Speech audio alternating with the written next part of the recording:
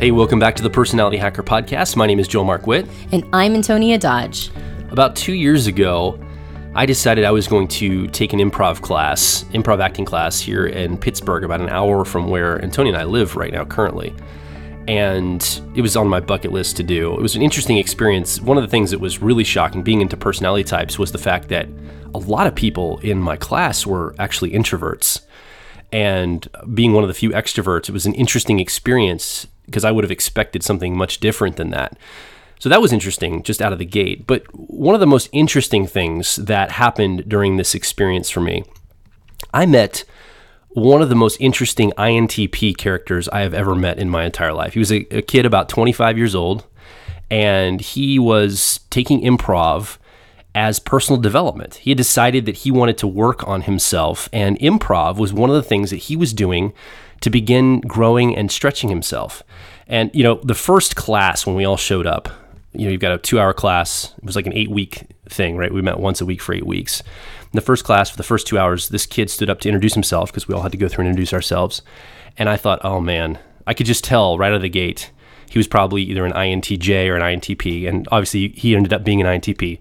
He just, he, he kind of had a, a presentation that I was thinking to myself, this this guy's going to have a very tough time connecting with other people in the class. He's going to have a tough time opening himself up.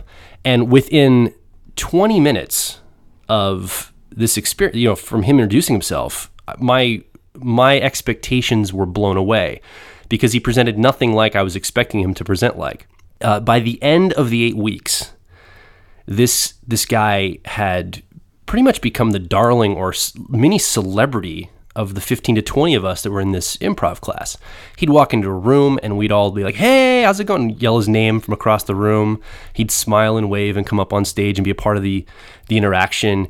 Uh, when he wasn't there for certain classes, we would be, we'd be all like, where, where's so-and-so? You know, we would, we'd actually miss him being there.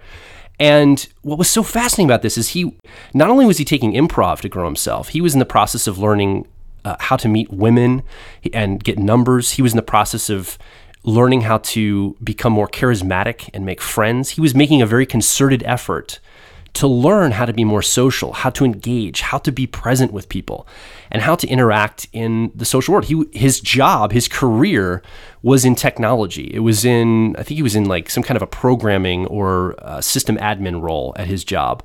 And it was a very introverted type job, a lot of coding, a lot of programming, and, and things of this nature and he was doing improv along with a bunch of other stuff. Oh, he was also doing stand up as well. He was doing improv along with stand up and learning how to meet women at bars and clubs and all this stuff in order to grow himself. And I, I was so excited for him because just during the eight weeks that I was around him, I saw progression of growth.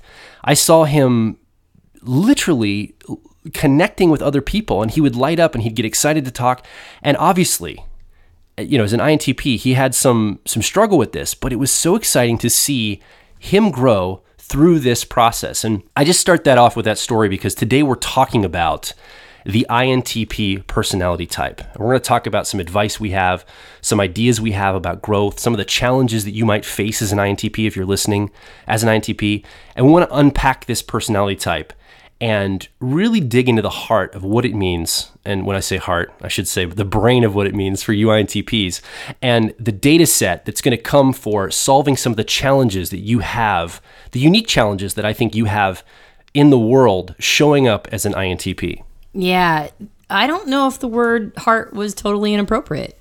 I, there's definitely a lot of truth to the stereotypes around INTPs being highly cerebral, very analytical, and that comes down to their brain wiring. I don't know if the word heart is necessarily wrong though, because there is a heart piece to INTPs, and there is something that they bring to the world that I think includes that heart piece. So, yeah, it's the vernacular is funny, right? And there might be some INTPs that shy away from that concept. I think that it's not totally wrong though. So, what we want to do is we want to talk about the makeup of INTPs and maybe even focus a lot not only on the challenges that you know you might be facing and some of the other things that Joel mentioned, but also what is it that INTPs do for us, right? What do they provide? We have a philosophy at Personality Hacker that every single personality type brings something imperative to the social ecosystem.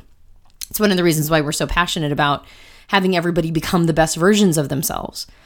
The better a version of your type you are, the more you're able to offer that gift to the rest of the ecosystem, which we all desperately need, regardless of who you are. We need you to show up. And INTPs, just like every other type, according to our philosophy, has a very imperative role that they place, or excuse me, that they play. And I think it might be kind of thankless. I think the role that they play might be a thankless role.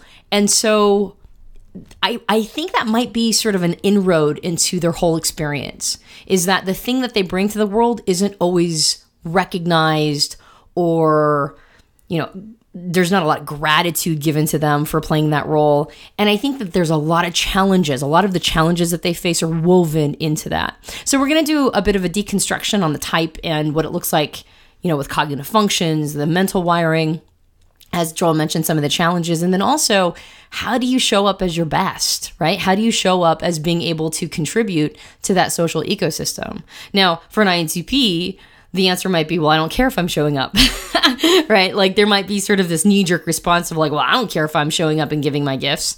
I don't think that that's actually true. I don't I don't think that deep down inside INTPs feel that way. And one of the reasons why I don't think that they feel that way is we sent out a survey and at the time of this recording, we sent out a survey less than 24 hours ago to our list, our email list of all the people who have typed out as an INTP. And we were expecting to maybe wake up to a couple, right? The next morning, there was four questions, questions like, you know, like what are you, some of your biggest challenges? What are some of the things that you'd like other people to know about you as an as an INTP? What are some of the most impactful or influential things that have or pieces of art or books or media that have impacted your life and what would you tell your 15 year old self we thought they would get maybe two or three by this morning and we woke up to 50 no, actually, it's over 60. Oh my gosh. Yeah. At this time, it just keeps pouring in. Like, we only checked it like an hour ago, but since then, even more have come in. Yeah, less than 24 hours ago, and we have over 60 people who have INTPs that have contributed to these four questions, which was fantastic. And it was such a fa- fascinating inroad into what is going on for INTPs. And the answers were different than we expected.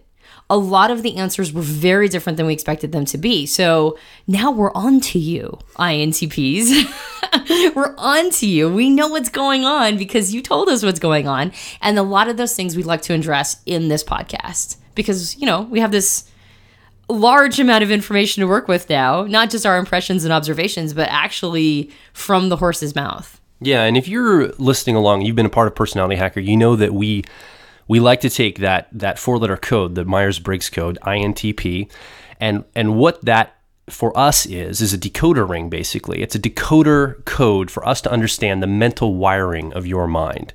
So anytime you type out as a certain type, what we like to do is dive deep into how your mind learns information and how your mind makes decisions based on that information. And so it's technically called the cognitive functions of your mind.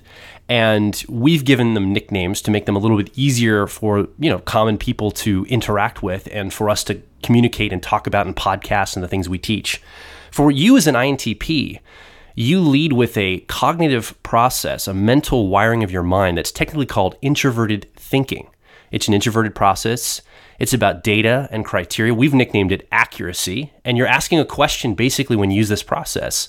What makes analytical sense? And this is a this is a decision-making process. This is how you show up to the world making your decisions based on asking yourself, does this make sense analytically to me?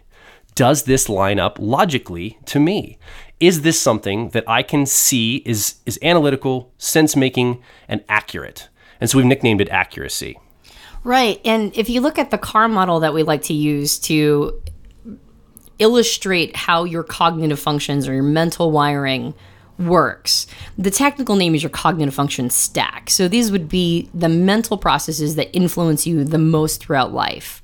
And we use a CAR model that indicates where these mental processes fall in terms of importance, or maybe not even importance. Preference. But yeah, pri- the priority that you as an individual give them. And so that mental process that Joel is talking about, the the introverted thinking process that we call accuracy. In the car model, we call it your driver process. And we also call the driver your flow state. So the reason why we call it your flow state is if you take an INTP and hook them up to an EEG machine and you give them tasks that activate the parts of their mind that utilize introverted thinking, their whole brain lights up like a Christmas tree. It puts them in flow. And so it's the most rewarding thing you can do. The, or the most rewarding things you can do are things that activate your accuracy driver.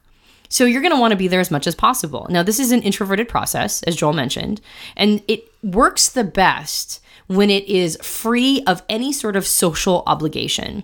Because at its opposite, the polar opposite of the accuracy process of introverted thinking, its opposite or the other side of the coin is a process called extroverted feeling. And we also call that harmony. Now, harmony is about social interplay, it's about social dynamics understanding other people's emotional responses to what's going on. It's about group dynamics fundamentally, and it's about connecting. Now, one of the things that's so fascinating about this is if you look at the car model that puts accuracy in the driver position and it puts the harmony process in what's called what we call the 3-year-old position. It's technically called the inferior position, and we also call it the blind spot. Now, what was so interesting about the feedback that we got from people in this survey from INTPs in the survey was one of the biggest challenges they faced was connecting to other people. How do I connect with other people? How do I explain my thoughts? Right? It was al- it was almost always in the context of how do I communicate better? How do I explain what's going on in my head so that other people get it and that they don't think that I'm insulting them or I'm trying to, you know, be cold or analytical? How do I show them that they that I care, but I'm just showing up different than what they have maybe anchored caring looks like? And that was one of the major major struggles that INTPs face which is a very interesting question. How do you connect with other people when the mental process of natural connection is your blind spot, right? And so that's one of the things we want to tackle. The other thing to really look or understand an INTP is looking at their co pilot process or what's technically called their auxiliary cognitive function. This process is technically called extroverted intuition, and we call it exploration. Now, this is pattern recognition. It's an intuitive process. For a more deep dive conversation about how the exploration process works, I recommend listening to the podcast on introverted intuition versus extroverted intuition. It gives a really great, fleshed out breakdown of that exploration process. However, for the, the purposes of this podcast, just think of it as the button pushing, right? It's the way it's a way of learning new information or really perceiving how things work based on interacting with your environment and not really being attached to any outcome. Just kind of messing with your environment and seeing what surfaces for you. It's also what helps people zoom out. When you use exploration, it gives you a greater expanse of territory. Almost think of it as if you were playing a video game and you had a grid pattern, right? And a lot of us gamers, uh, we recognize that grid pattern of the map that will be like sort of in the corner of your screen. And as you explore more of a terrain in first person, the map fleshes out and eventually goes from grid pattern to the sort of a filled out map sequence. And that's what exploration does. It allows you to explore more and more of your terrain so that now you don't have grid patterns in your mind. Now you actually have a fleshed out map. And it's a very zoom out process. So when these two mental processes of accuracy as your driver and exploration as your co pilot, when they marry each other, it's a really fascinating zoom in, zoom out relationship that an INTP has with zooming in for introverted thinking or accuracy, really doing a deep dive into data, a lot of clean slicing information, a lot of removing what other people have conflated as the same thing, but really understanding how they're separate concepts. It's very surgical kind of think of it as digital as well. It's a very digital process, very surgical, very zoomed in, really understanding the nuances of these pieces of data. And then when you marry it with a process like exploration, now you've got data plus new patterns, a bigger picture, more fleshed out idea of how things are working in the outside world, especially if people are messing with them. And the combination of the two ends up becoming radically new ideas right? Like a, a, a, way to architect new concepts and ideas by creating new patterns and frameworks, understanding maybe taking what everybody else is sort of assuming as the same thing and separating them, or a bunch of stuff that people think are separate things, and then discovering new models and maps and patterns around that. And then being able to have a bigger picture of how things are working. That's an INTP at their best. What it requires them to do, though, is it requires them to be a bit of a Shiva in the world. And by Shiva, I'm referring to the Hindu god of destruction. Shiva is somebody who comes in and destroys before it can be rebuilt, right? And that's what an INTP can do with concepts and ideas. It takes the reason why it works the best, the accuracy process works the best when it's removed from a social component, is because it needs information to be as clean as possible without social bias. That's when it works the best. And in order to really get to that space of truly deep dive, accurate information, you can't be emotionally connected to another person because emotional connection will bias the information right? Because you'll want to please somebody else. You'll want to make sure that the information, the data is kosher with the people around you because you're really connected to how they're emotionally going to be impacted by the information. So you can't have those two things together. You have to separate them. And then that means that you're going to show up saying things that other people don't want to hear. You're going to show up saying things that other people might find offensive. And it's also the thing you bring to the world. The thing you bring is to be the great destroyer of previously held biases, confirmation biases, like paradigms that are outdated, ways of thinking that are no longer accurate. And this can be done in a variety of different contexts. It can be done in science, it can be done in math. Those are always the stereotypes around INTPs. But I've seen plenty of INTPs just fascinated by the social sciences. And I've seen INTPs fascinated by religious studies and philosophy. It can really be any context that catches an INTP's fancy. They will almost always go through a lens, though, of if at all possible, as rigorous a scientific vetting process as the as the science of their choice will allow them to get away with. Obviously, math and some of the more technical sciences, hard sciences, are going to have more stringent vetting processes, and the softer sciences are not going to allow for as strict a vetting process. But an INTP is always going to look for the strictest vetting process that is allowed within their field, and that's where they really shine. So the challenge of not being able to emotionally connect with other people comes with a massive superpower of being able to see things without that emotional bias. The problem is that we're such social creatures inherently that we have a tendency to not really appreciate when somebody's calling us on our bullshit. like that's the thing we don't really want to hear right now because I'm pretty attached to my piece of bullshit or what Robert Anton Wilson will call your BS, right? I'm really attached to my BS, my belief system, right? And I don't know if I really want you coming through with a big hammer and smashing it down. And yet, every time we allow that process to happen, we make extraordinary technical strides. That's, this is when we really allow some of the toxic and poisonous belief systems within us to get flushed out. I mean, we can all think of a time period in the past where the social norm was incredibly toxic to the people.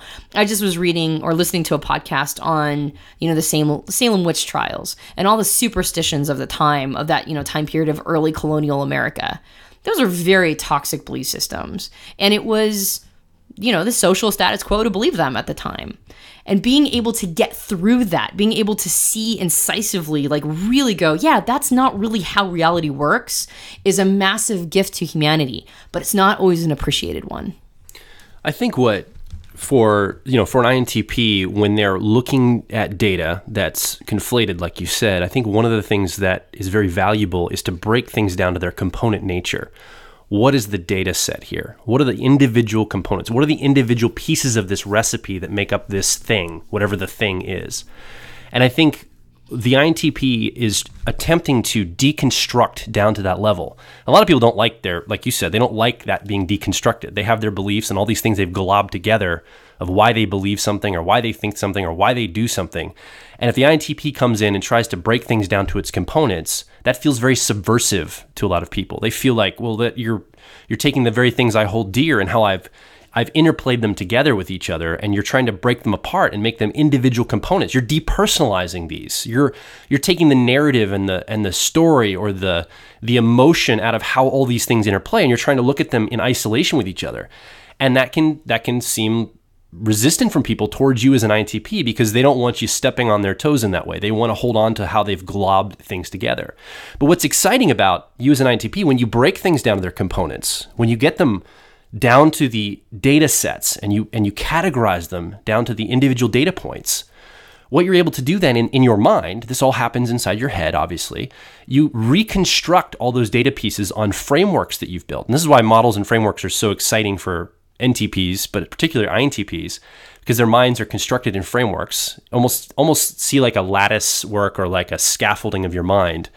And you hang pieces of data on this scaffolding or these pieces of your mind, this this framework you've constructed.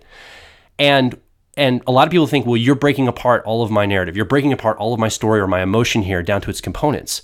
But what they fail to realize is that you as an INTP will take those components, reconstruct them in a framework, and actually be actually recreate a much higher fidelity of understanding than original than was originally given because you're able to see the components and how they operate individually.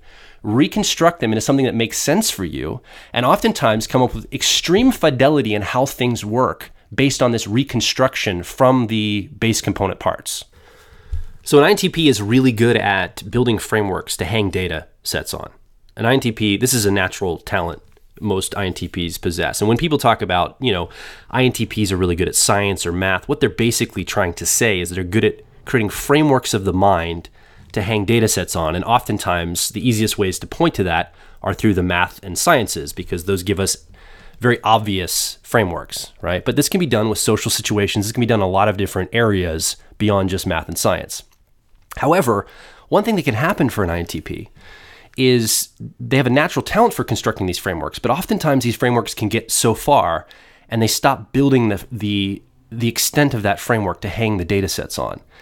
And they can get stuck sometimes. They can get stuck in not having enough space to hang new concepts, new ideas. And so what they'll do is the new data sets that come in, they'll still keep hanging on old frameworks. Well, what's great for an INTP is what Antonia talked about when you grow that secondary co-pilot process, technically called extroverted intuition.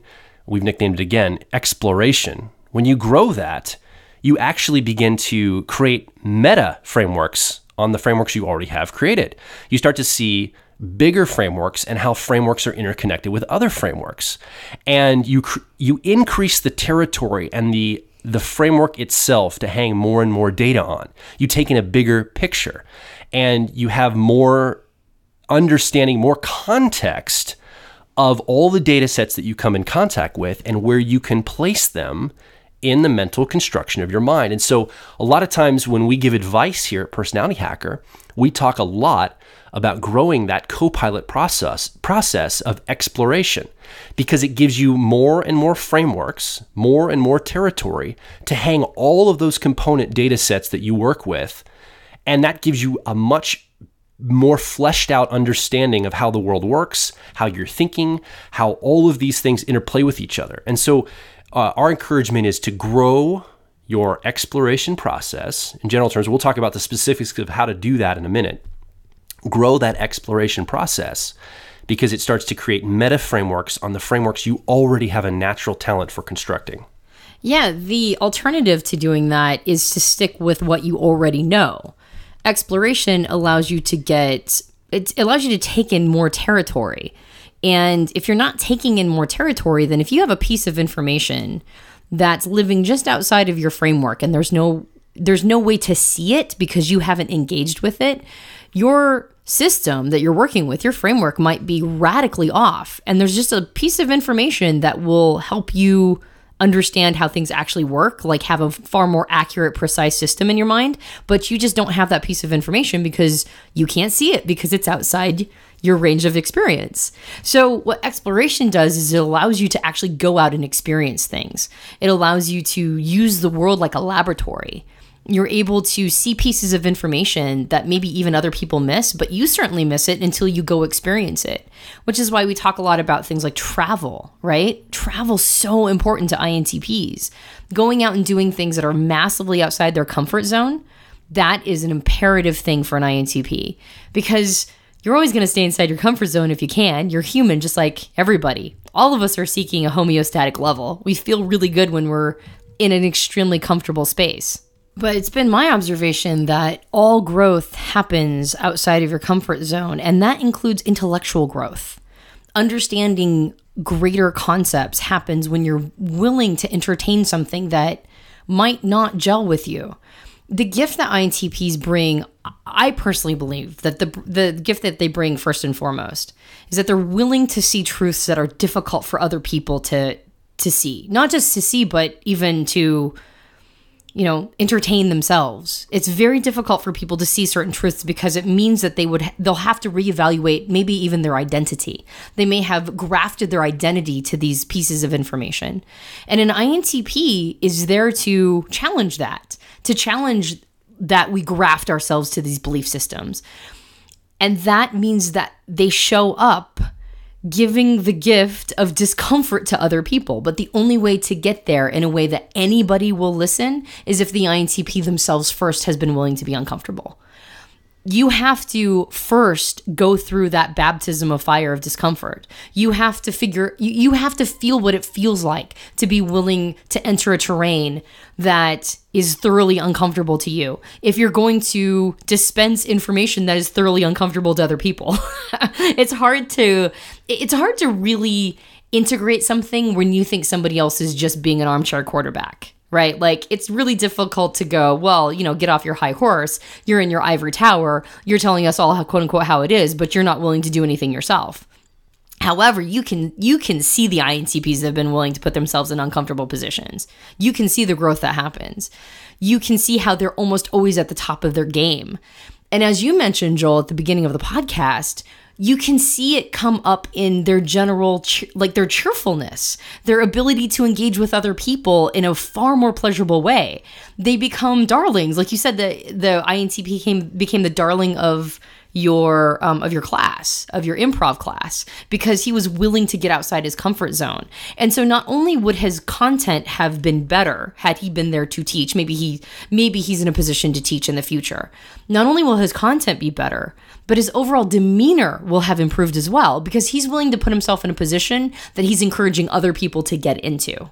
Yeah i mean the, the happiness this guy exuded was off the charts. He was he was really enjoying himself, and I'll tell you, and I, I hate to say, I, I, I'm hesitant to say this because I don't think this is all INTPs, but he showed up in a very physically awkward way, especially at first when I first met him, and he he always was physically awkward the whole experience. I don't think that's all INTPs. I think there's a lot of INTPs that are not physically awkward, but he was that that stereotypical INTP that just come out of the IT room at work kind of dressed a little bit awkwardly, acted a little awkwardly. And what was great about him is he he had a self awareness around that, and yet kind of almost like a, a humor about it toward himself. And I think that was what made him so approachable, so likable, is that he kind of was he almost embodied it. Like it was it was it was not a big deal for him to show up that way.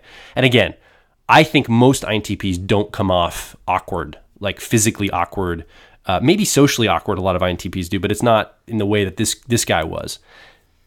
But the happiness and the excitement and the participation that he had in the class, in the improv. Afterward, we'd go get some drinks and talk and get hamburgers or whatever, and he would sit there and talk with us, and and he was just a really likable person. I think it was because he just he was he didn't have to be the know-it-all in that moment. He didn't have to be the person that was coming as the teacher, like you mentioned. He was very much in a student role, but not in a student role like trying to understand all the data, but a student of experience, of life, of social interaction. And he was just he was just present and available in the midst of probably feeling very awkward himself. You could tell he was struggling with this, and yet he was happy and it, it worked for him. And I was so so happy to see that he was doing all this stuff. And just over the eight weeks I knew him, I saw him growing and getting even more happy through going and doing stand up and going and meeting women at bars and clubs and trying to do improv. I mean, he just his happiness increased over that time period. I was very proud of him as a person He, he was an encouragement to me as a person and inspired me as a person to see somebody that was probably terrifying for him to do some of this stuff. And he said, you know what? I'm going to just suck it up and I'm going to do it anyway. Yeah. Uh, uh, so so one thing's coming up for me as we're talking, which is, you know, like I made the comment that I we believe our philosophy is that every personality type brings something to the ecosystem. And we talked about what we think that they bring and how we believe that they bring that the best. And I can see an INTP saying something to the effect of, "Well, I don't I don't want to bring that. Like I don't want to have to be uncomfortable because I don't want to necessarily bring the quote unquote gift of discomfort to other people around questioning their belief systems and their values and their paradigms. Like I don't I don't feel any need to show up that way. Sure. And that's valid. You don't have to. right? Like none of us have to show up necessarily like we don't we don't have to leave the camp better than when we got here, right? Like we can just live out our lives. However, that thinking of, well, I don't I don't want to do that. I just want to live my comfortable life or uh, maybe even slightly uncomfortable, right? With always being kind of uncomfortable socially or whatever is the challenge that that particular INTP faces. I just want to live under the radar. But what's interesting about that is the flip side of that is not making an impact and not really having any specific thing you actually are bringing to the world, like having no real specific direction. And I noticed on the survey that we sent out, one of the other challenges that INTPs mentioned beyond just the connection piece, which I want to go back to, you by the way. How do you form connections? We kind of hinted around that, around the exploration process, allowing you to be more, you know, approachable, allowing you, giving you an opportunity to get outside your comfort zone. So when you're challenging other people, they won't think you're just being an armchair quarterback or in your ivory tower, but you've actually gone through it yourself. So they're going to see you more credible right? So exploration brings greater credibility. It brings greater cheerfulness as a general rule because you're willing to put yourself in a student role. There's a lot of stuff it does. But I, I also want to go back to this concept of like actual connection. Like, how do you make actual connection with other people? But before that, well, I want to put a pin in that. Before that, I want to address this idea that a lot of INTPs have, which is of motivation right? A lot of the INTPs in our survey said that the thing that they struggle with the most is a lack of motivation, which I find really interesting, especially when I hear comments like, I want to be under the radar. I don't want to actually bring anything to the world. I just want to live my life. Because I think there is a strong connection between these two concepts. It appears to me that the INTPs that have the greatest motivation and the greatest inspiration are the ones who have made peace with the idea of bringing their gifts to the world. They have decided that they're not going to allow themselves to rest into a defensive position and they're, they're actually going to try to be somebody who engages with and contributes to that social ecology. Uh, uh, it's almost been a one to one in my mind. The more somebody rests on their laurels, the more they decide to hold back, the more they decide that they're not going to try to make make an impact in the world, that they're just going to protect themselves from all the things, all the dangers that could be out there, the more they feel a lack of inspiration, a lack of motivation, the more they go, "Well, why am I even doing what I'm doing?" And I think it's because well, well, first of all, I mentioned the defensive position, and that's what we call in the CAR model. That's what we call the ten-year-old position. We also call it the defensive position.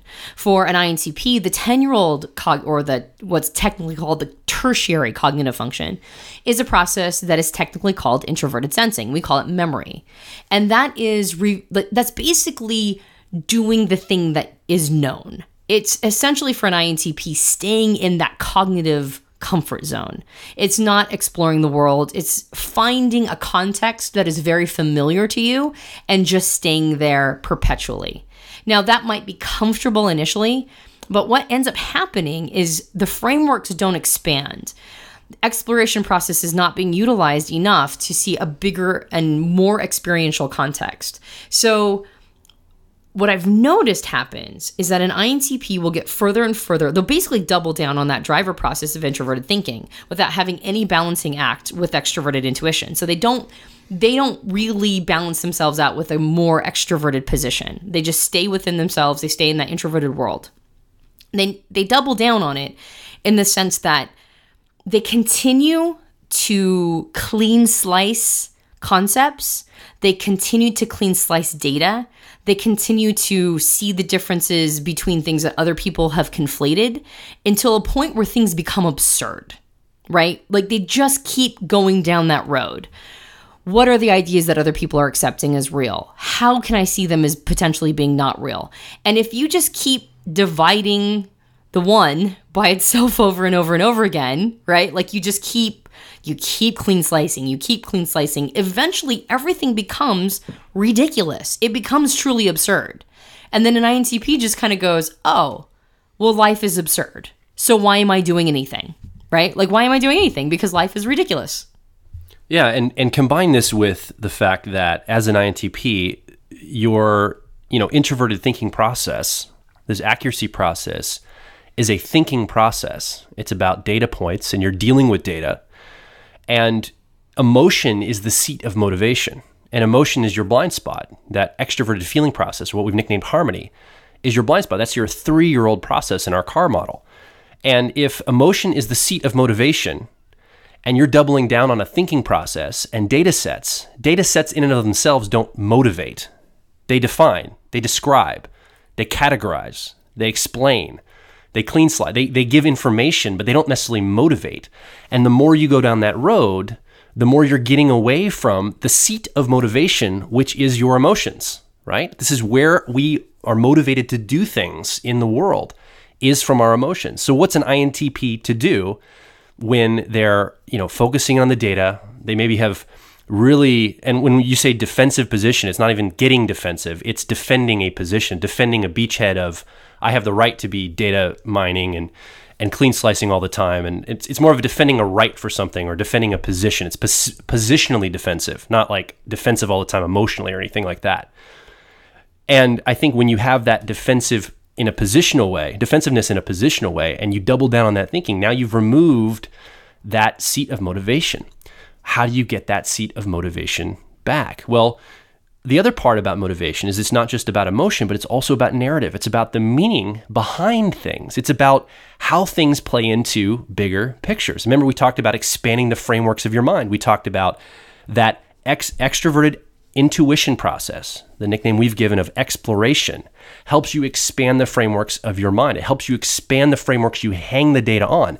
But what also it does, this process of exploration, is it increases the narratives that you're working with as well. The stories of why the data you're looking at matters in the first place.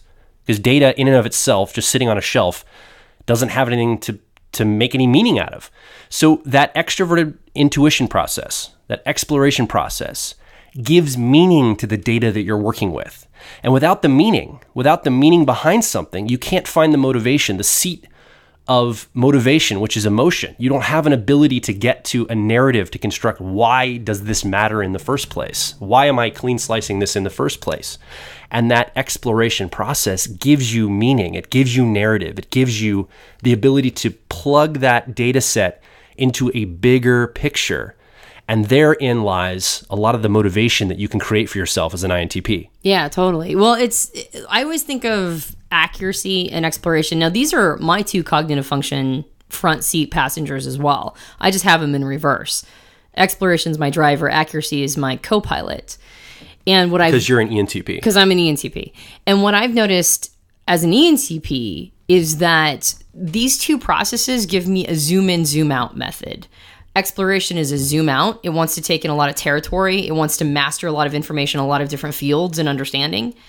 But if I'm just always doing that, I don't really get the sense of what's going on. Like I don't really understand. Like I'm I'm too easily influenced and persuaded by outside stories around what the meaning of that is. And so I have to zoom in. I have to use my co-pilot of accuracy in order to zoom in and go, "No, what what do I think is going on here? What makes sense to me as an individual?" how can I clean slice this information and really understand it in a more nuanced way? And then be able to generate systems from it and then zoom back out and see if my systems are working and, you know, and really kind of playing out in the larger narrative. For an INTP, the, the direction is the opposite.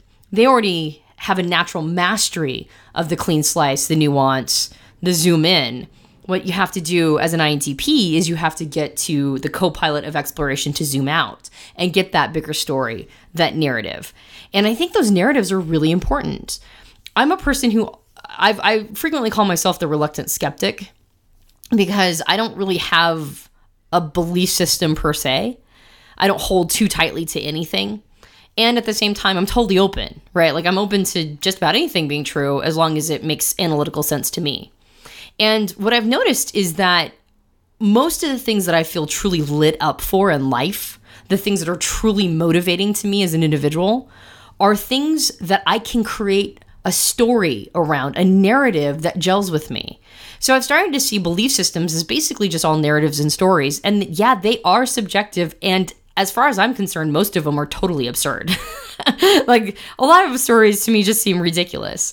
And yet, the ones that are my favorites, right? The things that really light me up in life are the narratives and stories that I've really become sort of emotionally attached to, like yours and my relationship, Joel that's just a narrative and a story. You being my soulmate, or you being the love of my life, or however I want to define it, that's just a narrative and a story. And yet it's one of my favorites. I love that story.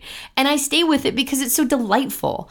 And I've applied that same theory or concept to life purpose or to anything else. These are narratives and stories that I like the best. But the only way to really see those narratives and stories and how they play out in a bigger world is to zoom out, to experience, to take in a bigger territory, to feel how I'm ex- interacting with things, right? Like I've been in situations where I thought I would totally totally come out with one conclusion and I didn't. I came out with a completely different conclusion and I wouldn't have known that had I not experienced it. So I think for INTPs, a major piece of the challenge is being willing to get outside yourself, being willing to get outside that comfort zone, and being willing like if you if you believe that there's a belief or if you have a belief system that is important to you. There there's nothing incompatible with INTPs and belief systems by the way. I don't think INTPs are people without belief systems. They can totally have belief systems, very strong ones and very powerful ones and there's nothing wrong with that. Whether it's a religious paradigm or political persuasion or whatever, you know, or phil- philosophy about life. It doesn't matter.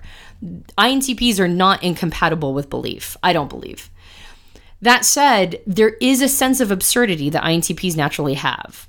I've noticed this in the the kind of humor that INTPs favor. I've noticed that INTPs find absurd things the funniest, right? They love things that tickle their their fancy around what what is absurd because that's kind of how they're going through life all the time. They're seeing all these absurdities all all around them and nobody else seems to catch them.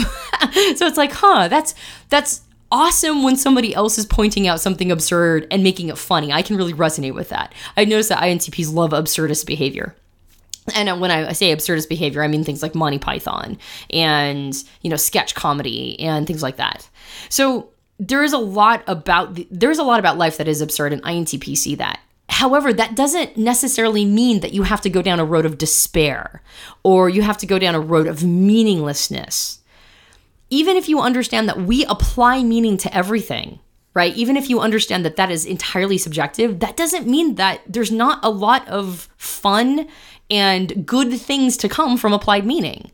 Some of our stories, like uh, if you have ever fallen in love with anybody, just like I talked about yours and my relationship, Joel, if you've ever fallen in love with anybody, that is a story too, but it was really real to you. And it felt so good to be there. And so that's life. Life is life is narrative. Life is story. That life is our favorite stories and pursuing our favorite stories. And i've noticed that intps that do the best are the ones who have seen that their story is somehow linked to contribution, to being able to give back to the world in some way. It doesn't have to necessarily be in a huge way, but give back to the world in some way and connect with other people through that contribution. And so I want to get back to that connection piece. Are you ready for that? Or did you have something else you wanted to say about this? Well, I think as you talk about connection, which is going to lead into what we're going to talk about here, I can I can just see you as an ITP sitting right here. You can't talk to the microphone but you're the third person sitting here right with us, right?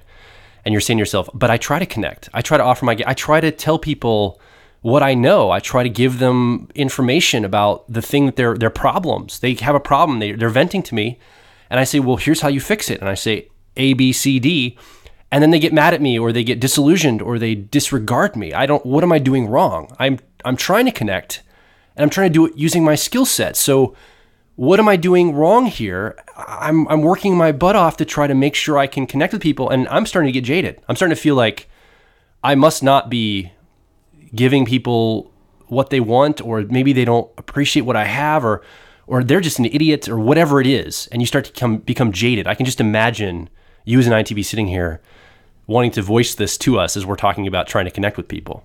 Oh yeah, totally. I'm so glad you brought that up actually. Cuz there is definitely a sense of cynicism that can be attributed to people of this type or at least that is a stereotype that I've seen repeated over and over that INTPs become cynical. And what's so crazy is that I keep I keep using this word cheerful in relationship to INTPs because my observation has been the healthiest INTPs that I know of are downright cheerful, right? They have a bounce in their step. They're almost childlike with their sense of wonder. And I love it when I see an INTP become childlike. It's a beautiful thing because I know they're getting closer and closer to that inner wisdom or that inner self, rather. And I think INTPs naturally show up to the world that way. When they're children, they have an enthusiasm for the world, they have an enthusiasm for new things. But because they lead with that process of accuracy of, of introverted thinking, which is a at least at this time period in history in most cultures is not necessarily well received. We have a tendency to have a very extroverted feeling or harmony social setup. And so, especially since most women are extroverted feeling or harmony, you're either an INTP woman, so you're being compared to all these harmony women because most, like 50% of women, I think the statistics are have harmony as either their driver or their co pilot process. So you're either a woman INTP being compared to all these other women who you're very different from, or you're a man that was most likely raised by a woman. Uh, and and the odds are good that they were harmony. and so you got this message over and over that there was something maybe not right about you. Maybe they even thought that you had you know a learning disorder or a an attention deficit disorder or you're you know autistic or something because you were showing up in a way that made no sense to them. And so there's a lot of there's a lot of messages that people who use accuracy get from the world which is that you are unacceptable the way that you show up. And i felt this as an entp it's even more so with INTPs. So I think the natural state of an INTP is to be childlike, to be cheerful, to have a sense of wonder and be in the learning position. But I think that gets sort of beaten out of them.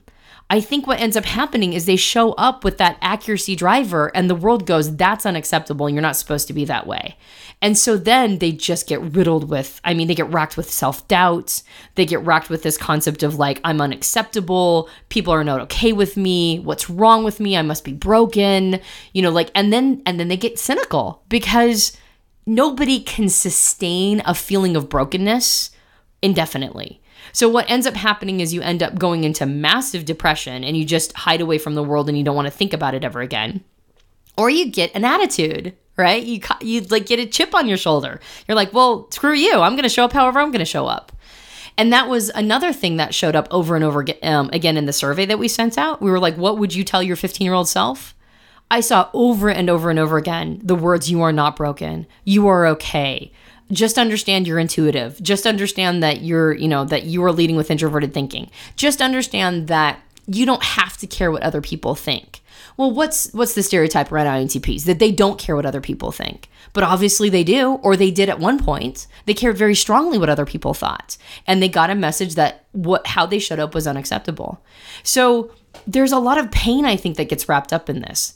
Pain that they aren't necessarily nursing pain around because they're not feelers.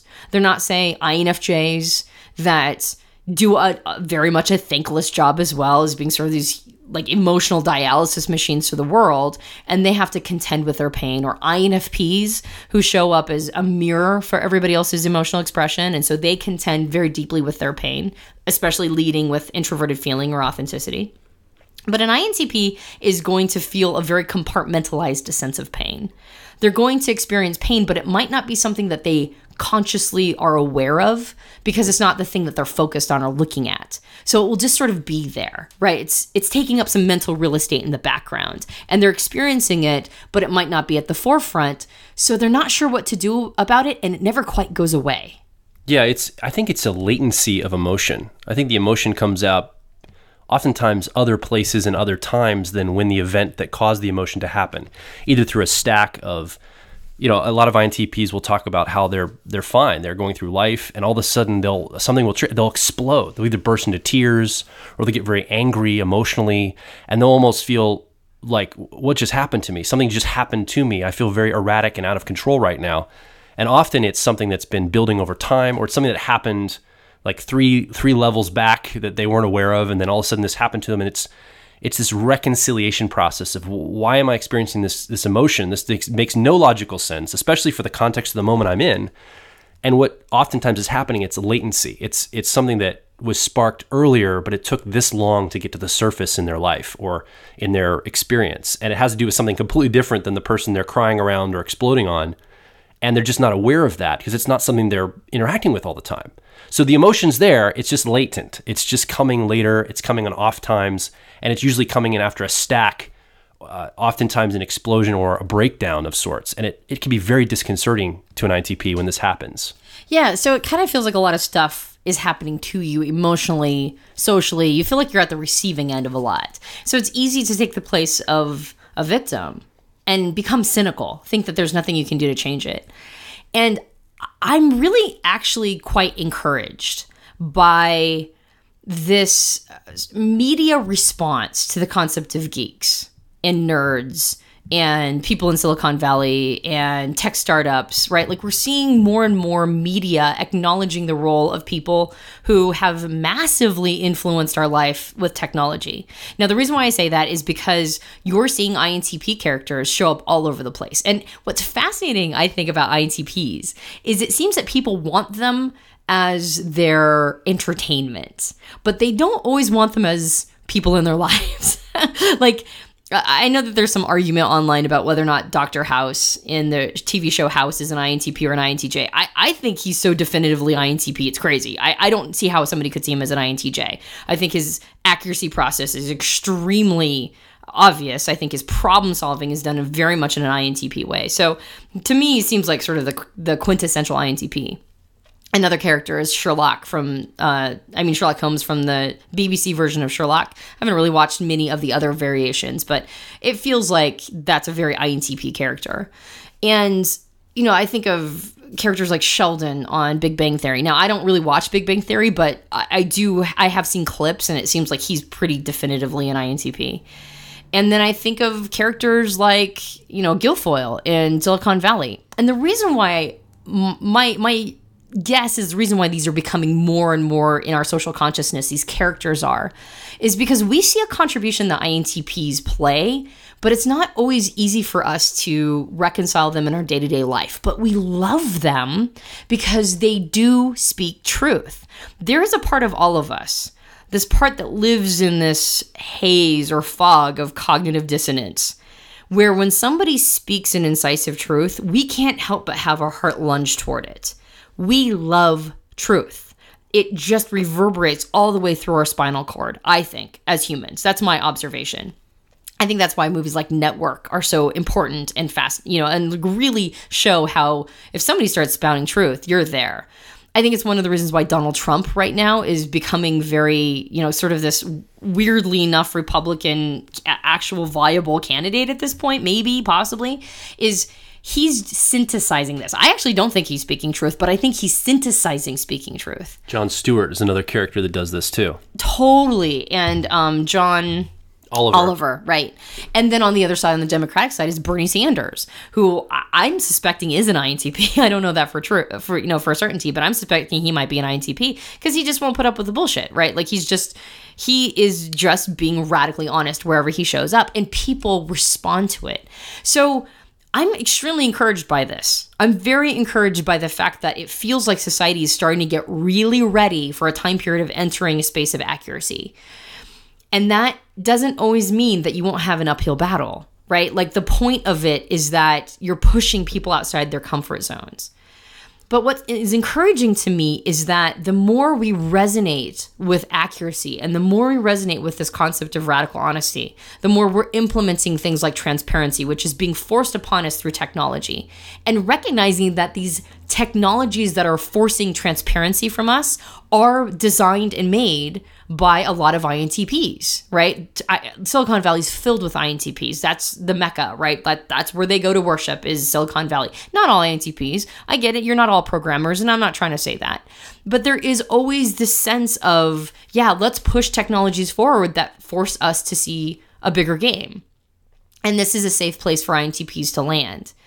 So the reason why this is so encouraging is I I my suspicion is the more INTPs show up as really doing their job, right? They're the job that they perform in the social ecology, the more we're going to just have this lightning trajectory towards transparency and radical honesty. If the people who that's the job they do in the social ecology really show up.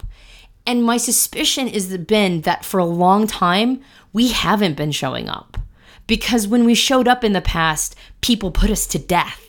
They killed us, right? Like it was dangerous to be an accuracy person for a long time. Because if you said something that other people didn't like, you got, you know, you were given hemlock or you were burned at the stake. like people just really didn't like that. But we're not in a space anymore where that happens, at least in the developed countries. Like in the country I live in, if you're an accuracy person, people might poo poo you, but they're not going to put you to death for it.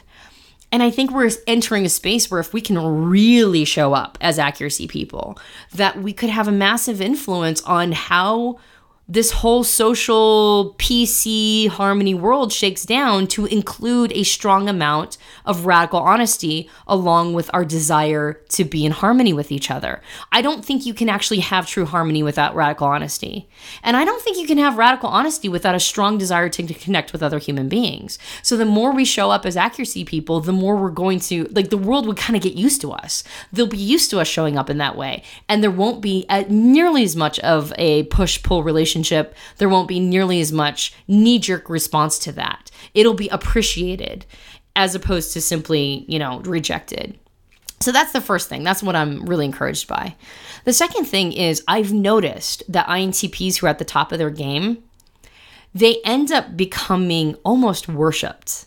All right. I can think of two people in my mind that I have a personal relationship with. One is one of the most well respected and beloved internet marketers in the world. And the other one is one of the most well respected and beloved CEOs in the world. Both of them are worth tens of millions of dollars. One of them is worth hundreds of millions of dollars. And they're both at the top of their game, and people just love them. And were they to choose to connect with another person, they would have no problem doing that because they've shown up with so much credibility. And what I've noticed for both of them is that they have not rejected that three year old part of them of harmony they didn't full out reject it. They didn't assume that they could never connect with another person. What they did is they made that harmony process part of their aspiration, as in, how do I help other people become happy? And they connect with other people, not through necessarily this skill, this like inherent skill of connection.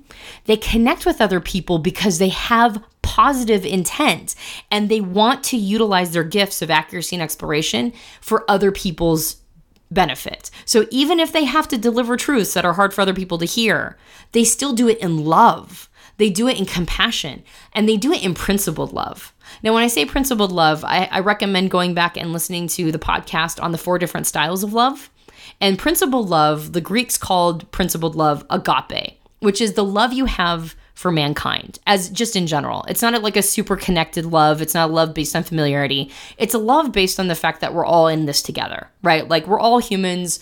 We all have consciousness. Maybe we're animals, right? And we just love things because they're precious and they're living organic tissue and we honor that. When an INTP shows up having goodwill, good intent, wanting the best for other people, and then giving their gifts right? By really sharpening that saw, really getting to the top of their game. I have never seen any of those people not have a good time of it. Right? Like they almost always have and and they're beloved. Oh, people love them. They they have to do what Neil Peart, who is another INTP, Neil Neil Neil Peart, as far as I'm concerned, is the greatest musician of all time. He's the drummer for the progressive band uh, Rush who I grew up on, and I have a very fond place in my heart for the band Rush. And Neil Peart in the the, the song, um, uh, it's on the album "All the World's a Stage." I'm forgetting the name of the song right now. Uh, it is uh, Limelight. The song is called Limelight. Um, Neil Peart, who's an INTP, wrote the lyrics, and he said, "I can't pretend." The stranger is a long awaited friend. Meaning, I can't pretend that every person who is a fan of mine that I've been like waiting for this person to show up in my life. And so he he struggled with being off putting because people worshipped him so much and they kept coming up to him all the time. And he's like, I'm really not going to connect with every person who comes around me. And I've noticed that it becomes a high quality problem for developed INTPs is that people want to be with them. They want to be their friends. And then the INTP is now in the uncomfortable position of vetting all these people. and I've noticed that with INTP women too. Oh, when INTP women are at the top of their game, or at least they're showing up in a developed way, right? In a good way, man, they have to like, they have so many men who are trying to become like get into relationships with them. and they're like, I don't know what to do about this. Like, how do I deal with all these men? The men too. How do I deal with all these women? So it becomes a high quality problem where you're you're now in a position of vetting and you get to decide who you want to connect with. So that's been my two observations. I don't know if those are helpful or not, but I really do believe that the world in general on a macro level is entering a space of really appreciating the accuracy process and then on a micro level, the more you become a good version of yourself, the more desirable you become to other people. As you were talking, I was thinking about the two examples of people you were talking about, the two millionaires, multimillionaires that you were talking about, who have connected to other people, built you know built a business that other people like to work in, built a business that teaches people how to do certain things, build businesses, and uh, connect with other people. And one thing that I noticed both of these INTPs did is they didn't do it for altruistic reasons at first. Like they didn't set out to start their businesses to help other people. They had personal things in their lives they wanted to learn or to do. And they started off by creating something that solved a problem for them. And in doing so, because they have that principled love thing you're talking about, because INTPs think in terms of, you know, broadly applying principles to everyone as far as across the board, the very things that help them now are helping other people too. So it was almost like a a selfish way to save the world in a sense. Like they they started off by trying to solve a problem they had of connecting to other people or being happy. And because they went down that road and they solved the problem for themselves, in the midst of that, they have that principle thing, and now it just applies across the board. Now, other people that work in their businesses or learn from them are feeling the effects of the very thing they did for themselves. So I think that's I think that's something that as an INTP, as you're listening, you can think about is, man, I don't feel like I want to go and do altruistic things right now to connect with other people. Well, you might want to start with something that solves the problem of connection for yourself. How can you solve that problem for yourself? How can you begin going down the road of making your life a happy place to be for you and the people that are around you in in a close setting? And then because that principled love, that principled nature that you have as an INTP, that egalitarian nature that you bring to the world, because you have that, how will that now apply across the board to the people around you? I think that's really a good starting place if you're if you're like, wow, how do I go down that road? That that might be a great place to start out as an INTP. I'm so glad you mentioned that. It does really sound because I'm at a place right now where I'm like, everybody should do everything for everybody else, but I I agree with you. I think a lot of INTPs that end up doing things that are altruistic or feel altruistic or very beneficial like the gifts that they give to other people it did start out by solving a problem for themselves first. I don't think there's anything wrong with that. I don't think there's anything wrong with starting out with trying to solve your own problem and then once you find that solution then being willing to give it to other people. I think that's great. And a lot of times that's where clarity comes which is what's right for me what's what what is the highest leverage thing i can do for myself and then getting clarity around that, solving that problem, and then being able to give it to others. I think. I think one of the reasons why I really wanted to focus on this idea of giving to others is I think INTPs can sometimes get lost around that piece where when they when they don't feel like they have clarity and they don't feel like they have purpose, it's not always the intuitive them, thing for them to think that I've got something to give. But I do agree with you completely that it oftentimes starts with a, you know, a self-centered motive. And it does for all of us honestly. I don't know a single person who isn't trying to do stuff for other people because we're we're fueling and nourishing our our personal you know our own souls.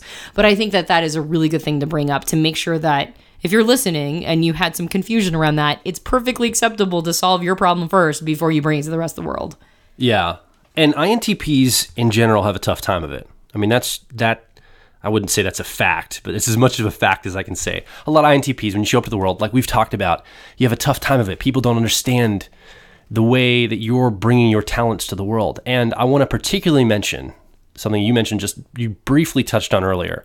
And in our survey, we got probably a 60% response from female INTPs. So if you're a woman and you're an INTP and you're here with us in this conversation, you have an even more unique challenge, I believe. And I think Antonia would agree with me on this because not only are you showing up to the world with that accuracy process as your driver, but like Antonia mentioned earlier on in the podcast, a large majority of women show up with harmony as either their driver or co pilot. Almost 50% of women have harmony as the way they show up in the world. And then there's another large percentage that show up with the other feeling process, which is introverted feeling, we've nicknamed authenticity, and so as an INTP showing up in the world, this can be this can be difficult on a multitude of fronts. First of all, when you're showing up with other women, they're looking at you almost like you are an odd duck. You know, why are you not saying the most harmonious thing right now? Why are you not participating with all the girlfriends in this group, doing the, the appropriate womanly thing for you to do? Why are you speaking this truth that's causing discord and disharmony here among all of us? And it can be difficult around other women. And then if if if you're heterosexual and you're attracting you want to attract a man into your life, men show up in your life and they're looking at you and saying, well, stereotypically, this is how a woman should behave because men are obviously most likely raised by uh, a harmony woman or they've been around a lot of harmony women or they're at least programmed socially to believe that most women should show up this way. And when you don't, it baffles them as well. It's like, wait, why aren't you behaving in the way that I have stereotypically put women into this box to behave like? And it can be baffling to them as well. So I think as a woman, if you're an INTP, I think you have a, a very unique challenge in the world in showing up with with these mental processes that you know can I think be a confusing piece. I think it can be somewhat disconcerting. I think it can be disheartening to you. Everyone wants to connect with other human beings. This is what we are wired to do as people. And if you're a woman, that can be a challenge.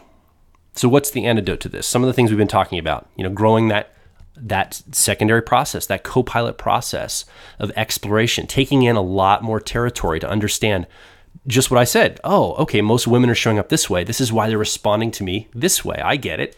Just some of those understandings can help you make your way in the world because you're seeing why people are treating you the way they're treating you because of how you're coming across. If you're getting nothing but negative responses or reactions from other people being an INTP woman, you're simply in the wrong context. You need to go find your tribe. You need to go find people who appreciate you. And yeah, that's absolutely easier to say than do. There's no question about that. However, again, I've seen INTP women really, when they really come into their own and they're focused on what they're doing in life and they're focused on becoming the best version of themselves, they really have like more, they have a buffet. They have generally more men than they know what to do with because you are so unique. You show up totally different. Now, for men who are imprinted or for other people, you know, regardless of what your sexual preference is, if another person is imprinted that women are supposed to show up as harmony, then yeah, you're probably not going to be their cup of tea. I've noticed as an ENTP woman, I get a lot of positive response simply because I'm not that. There is a certain segment of men and women who are looking for women who are not harmony. They're looking for something that's other, and you fill that niche for them. So you, as an INTP woman, woman, eh, regardless of whether or not we're talking about romantic relationships or we're talking about friendships, you're going to be polarizing. There's going to be a segment of people who are just not into you. And there's going to be a segment of people who you're what they've been looking for this whole time and they couldn't find you. Like you're a bird of paradise, basically. So it's really good to understand that that's like it's not a, a going to be a wholesale rejection. And if you find that that's what you've experienced this whole time, then you're just in the wrong context. Go find your tribe. And and I was talking to somebody recently where they were saying, I just can't find the people that I want to hang out with. Like, I just don't know where to find them. And I was like, well, where are you looking? And they're like, well, at work, you know, the people I work with and, you know, some, uh, some other people at like basic mundane, you know, like uh, the, the same mundane context, like workplaces, etc. And it dawned on me sometimes we have to pay for the privilege of finding our tribe, like literally hand over money my tribe, the, the, the people who I feel the closest to, were all found at conventions and seminars.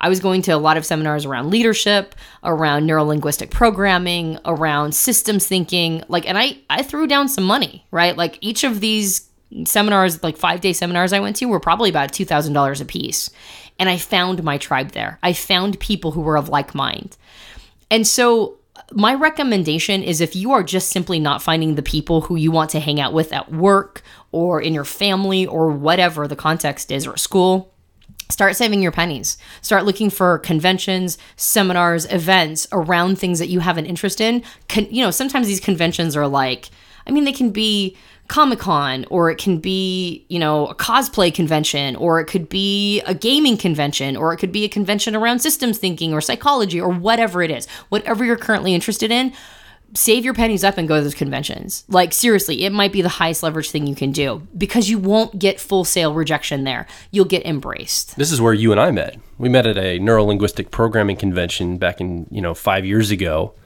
And it was, I, and I spent, you know, I spent some of my last pennies that I had at the time to get to that convention. And we met each other and we basically haven't been apart since. And it was people, and I've made a lot of friends there that I'm still in contact with, a lot of business partnerships, a lot of like mind tribe members that I've, I've created in these contexts.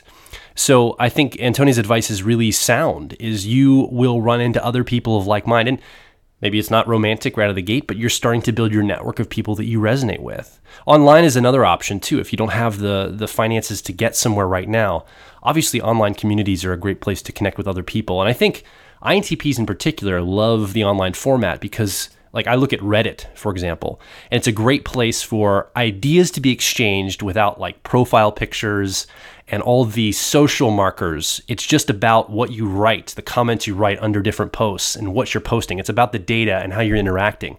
And it's a great place for INTPs to find other people that communicate the same way. And oftentimes, I think relationships, friendships, and even romantic relationships can come out of that as a starting point because that's where you connect with it the first place. You connect on that data set level, you connect on communicating ideas back and forth. Yeah, it is a good place to start. Online communities are a great place to start but you got to get to that physical component. So if you are looking for anybody who's like-minded, online communities are great because it lets you know that there are other people who potentially think like you. If you're really feeling like massively isolated, at the same time don't stay there. Like literally go to physically go to places where other human beings and their energy are present that's that might be outside your comfort zone, but that's the number one thing you got to do. So start with online communities if you're feeling massively isolated. However, invest the time and money to physically go to places where other people of like minds are gathered. I know this podcast has gone fairly long this week, and we wanted to take the time to really unpack the INTP personality type, or what we call in our genius system accuracy exploration because we believe there is some really amazing INTPs in our audience that are listening, are part of the community, and you know, you might have questions about where do you go from here. Obviously, you can find a lot more resources over at our website, personalityhacker.com. And we'd love to hear your feedback and questions, comments, thoughts about what we've talked about here on this podcast. We can't cover everything comprehensively. We can't talk about every single issue. And one thing that you can do in this community is continue the conversation, continue talking about this. There's other INTPs here that know what you're going through and they can interact with you and you can have conversation and discussion here at Personality Hacker, which is what we want to provide a platform for that community to grow. So you can find us obviously personalityhacker.com, also facebook.com forward slash personality hacker, twitter.com forward slash personality hack. Those are great places to start to get involved with this community of like minds, people just like you that want to grow themselves in a personal development journey by understanding who they are to start with, and then understanding how they show up in the world and what their role is going to be moving forward in their life. So we encourage you to come over and uh, be a part of this community. If you've enjoyed this podcast, we recommend that you subscribe to us on iTunes and various Android platforms. You can also lead, leave a rating and review on iTunes. It's the best place to let us know how you think we're doing and give us a little bit of feedback for the podcast. Absolutely. And if you'd introduce us to someone in your life that you think would resonate with this, Antonia and I would love an introduction to one of your friends or family members. And we'd love to have them be a part of this conversation every week. I think it would be a really interesting thing for you to have somebody else in your life that you can talk about what you hear here on this podcast, have conversation, discussion, and just take these ideas and run with them and build more frameworks of the mind based on that. My name is Joel Mark Witt. And I'm Antonia Dodge. Thanks for joining us for this conversation around the INTP personality type. We'll talk with you on the next Personality Hacker podcast.